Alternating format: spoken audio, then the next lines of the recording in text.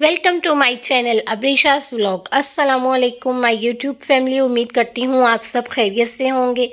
आज हम अपने किचन में बनाने जा रहे हैं शादियों वाला रशियन सैलेड तो देखिए रशियन सैलेड बनाने के लिए हमें किन चीज़ों की ज़रूरत है? सबसे पहले आपको दिखा रही हूँ यहाँ पर एक कप जितनी मैंने मैक्रोनी लिए हैं, जिनको बॉयल कर लिया है।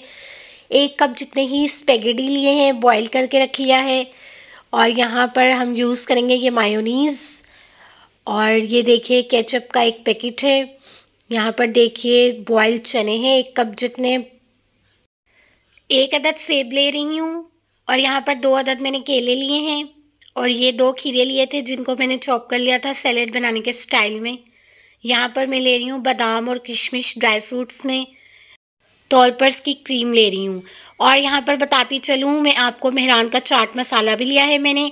सबसे अहम बात कि यहाँ पर कुछ मैक्रोनीस को मैंने मैक्रोनी स्टाइल में हाफ़ टेबल स्पून ऑयल डाल के फ्राई कर लिया था, जस्ट और ज़्यादा ऑयल नहीं डालेगा क्योंकि हम लोग सैलड बना रहे हैं। तो शुरू करते हैं। बिस्मिल्लाहिर्रहमानिर्रहीम। यहाँ पर एक बाउल ले रही हूँ और इस बाउल में ऐड करेंगे हम लोग सबसे पहले मैक्रोनीज़ और मैक्रोनीज़ हाफ़ में हर चीज़ बचा के रख लूँगी थोड़ी थोड़ी ये लास्ट में आपको मिक्स करके भी एक प्लेट बना के दिखाएँगे। तो यहाँ पर मैक्रोनीस बाउल में ऐड हो चुके हैं। अब यहाँ पर देखिए मैं ले रही हूँ मायोनीस और मैक्रोनी में मायोनीस ऐड कर देंगे हम लोग।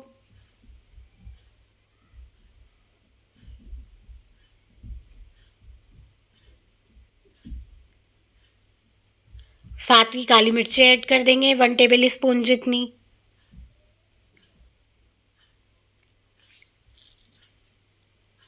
नमक ऐड कर दूँगी हाफ़ टेबल स्पून जितना, क्योंकि बॉईल करते हुए मैक्रोनी में हमने नमक ऐड किया था।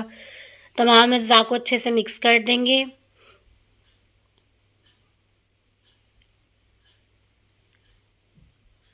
तो मैक्रोनीस तैयार हो चुके हैं, इनको साइड में रख देंगे। नेक्स्ट ले रहे हैं स्पेगेटीज़ एक बाउल में ऐड करेंगे। स्पेगेटीज़ और यहाँ पे बताती चलूँ, जो मैं क्रोनीज़ में आपको फ्राई करने के बारे में बता रही थी, उनमें मैंने वेजिटेबल्स भी ऐड कर ली थी साथ ही। और नमक और हाफ़ टेबल स्पून जितनी रेड चिली ऐड की थी, लेकिन आप लोग भी ज़्यादा मसाले कुछ ऐड नहीं कीजिएगा। बस इसी तरह से सिंपल स्टाइल में मैक्रोनी रखिएगा, क्योंकि ये हम लोग सैलड के लिए बना रहे हैं इसलिए। तो यहाँ पर देखिए मैं इसमें ऐड कर रही हूँ ketchup tomato ketchup one tablespoon भर कर लिया था। अच्छे से मिक्स करके साइड में रख लेंगे। अब यहाँ पर चने ले रहे हैं बॉयल और इन बॉयल चनों में हम लोग ऐड करने जा रहे हैं चाट मसाला। तो चाट मसाला मैं स्प्रिंकल कर रही हूँ। यहाँ पर टू टेबल स्पून जितना मैंने ऐड कर लिया है, आप लोग अपने जायके के मुताबिक ऐड कर लीजिएगा। अच्छे से मिक्स कर देंगे इसको। ये भी रेडी हैं साइड में रख देंगे। यहाँ पर वेजिटेबल्स ले रहे हैं। आलू और गाजर लेंगे। मटर को अभी साइड पे कर देंगे, मटर अभी यूज़ नहीं होंगे। तो आलू और गाजर में हम लोग चाट मसाला थोड़ा सा ऐड करेंगे। और साथ ही मायोनीज़ ऐड कर देंगे। और अच्छे से इनकी मिक्सिंग कर लेंगे। तो यहाँ पर ये भी रेडी हो चुके हैं। एप्पल को कट करके रख लेंगे स्लाइस छोटे छोटे और यहाँ पर इसमें क्रीम मिक्स करेंगे टू टेबल स्पून भर के। आप भी कोई सी भी क्रीम ले सकते हैं, अगर आपके पास क्रीम ना हो तो आप लोग बलाई भी यूज़ कर सकते हैं। इसमें मटर ऐड कर देंगे हम लोग।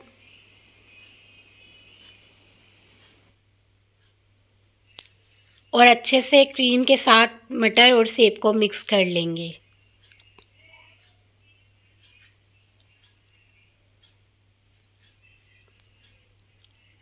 तो ये मिक्सिंग हो गई है, इसको भी साइड में रख देंगे। अब यहाँ पर ले रहे हैं टमाटर और खीरा। इन दोनों को चॉप कर लिया है मैंने।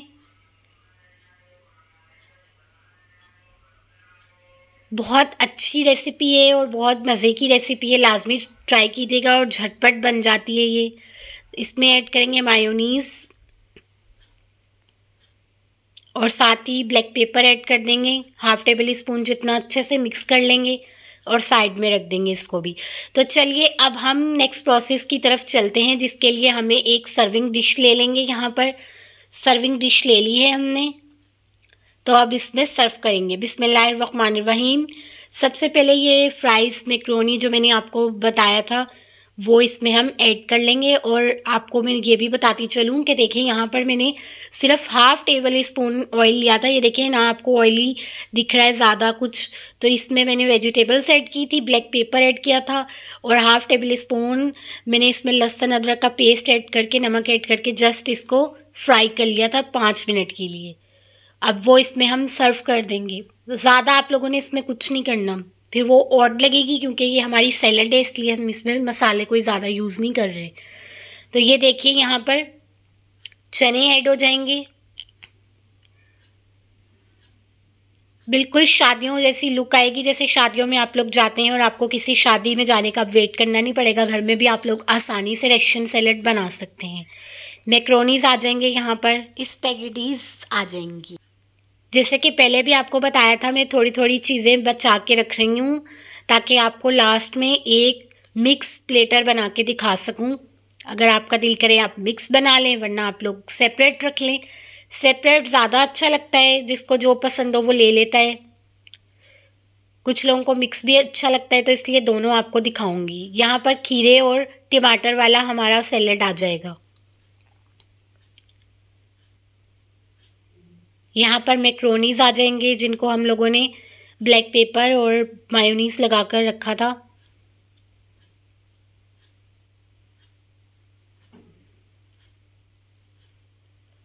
सब चीज़ों को आप लोग पहले से बॉईल करके रख लेंगे तो आपको बहुत आसानी होगी बनाने में। मैंने भी ऐसे ही करा था।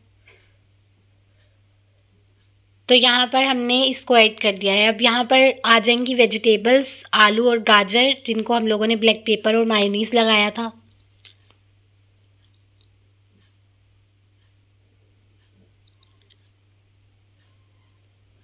और लास्ट में हम लोग ऐड कर देंगे एप्पल और मटर, जिनको हम लोगों ने क्रीम में ऐड करा था। तो देखिए प्लेटर हमारा मैक्सिमम रेडी है। अब इसमें हम लोग खीरा और टमाटर गार्निश कर लेंगे। तो यहाँ पर गार्निश हो चुके हैं, अब बनाना ऐड कर रही हूँ। बनाना ऐड करने के साथ ही मैं इस पर किशमिश, जो ड्राई फ्रूट्स हैं हमारे, वो डेकोरेट कर दूँगी। आप लोग कोई से भी ड्राई फ्रूट्स ले लीजिएगा, जो आपको अच्छे लगते हैं। तो यहाँ पर किशमिश ऐड कर दी है बनाना के ऊपर मैंने।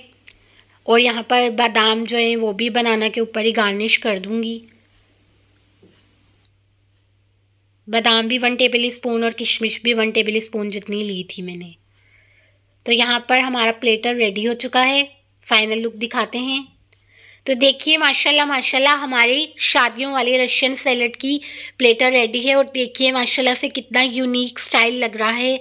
आप लोग भी इस रेसिपी को ज़रूर फॉलो कीजिएगा। यकीन मानिए, बहुत मज़े की बनती है और झटपट बनने वाली रेसिपी है। जैसे कि आप लोग सब जानते हैं, हमारी जो सैलड है, इसमें बहुत ज़्यादा हमें फाइबर्स प्रोटीन्स और कैल्शियम्स मिलते हैं और वाइटामस भी मिलते हैं, क्योंकि हमारी ये सब्ज़ियाँ मिक्स हो जाती हैं यहाँ पर तो इसमें हर तरह की हमें कैलरीज मिलती हैं। तो आप लोग लाजमी इसको ट्राई कीजिएगा, बहुत अच्छी रेसिपी है। जो लोग डाइटिंग करते हैं, वो भी इसमें से कोई भी सैलड की रेसिपी फॉलो कर सकते हैं। अपने हिसाब के मुताबिक आप लोग इसमें चीज़ें ऐड कर लें और जो वेट गेन करना चाहते हैं, वो भी यूज़ कर सकते हैं इस सैलड को। तो लाजमी इसको ट्राई कीजिएगा। बहुत अच्छी रेसिपी है ये। तो यहाँ पर हम मिक्स सैलड बनाकर दिखाएँगे। मैक्रोनिस बाउल में जो बची थी, उसी में ऐड कर दूँगी आलू और गाजर वाला सैलड साथ ही ये खीरे ऐड कर दूँगी और साथ ही मैं ऐड कर दूँगी एप्पल और मटर वाला सैलेड। यहाँ पर ऐड हो जाएँगे खीरे और टमाटर। यहाँ पर चने ऐड कर दूँगी।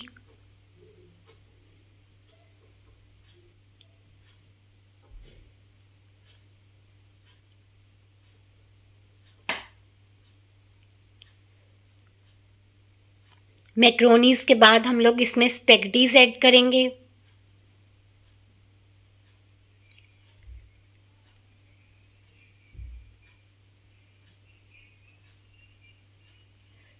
और यहाँ पर जो मैक्रोनीस फ्राई की थी, वो भी हम लोग ऐड कर देंगे।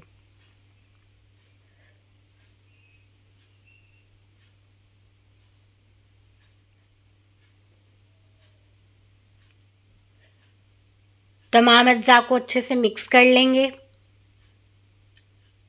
और डिश आउट करके दिखाएँगे। तो ये देखिए, माशाल्लाह माशाल्लाह, हमारा सेपरेट और मिक्स दोनों मैंने प्लेटर तैयार कर लिए हैं। तो आप लोग कमेंट बॉक्स में लाजमी बताइएगा आपको सेपरेट अच्छा लगता है या मिक्स वाला अच्छा लग रहा है तो मुझे लाजमी कमेंट बॉक्स में बताइएगा।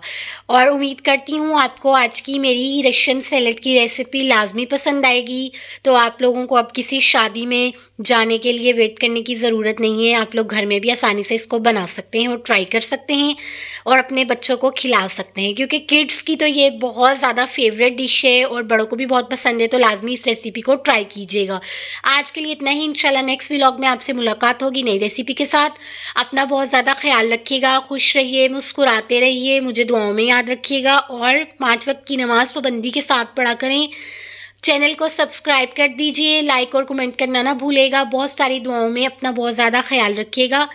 शुक्रिया, अल्लाह हाफिज़।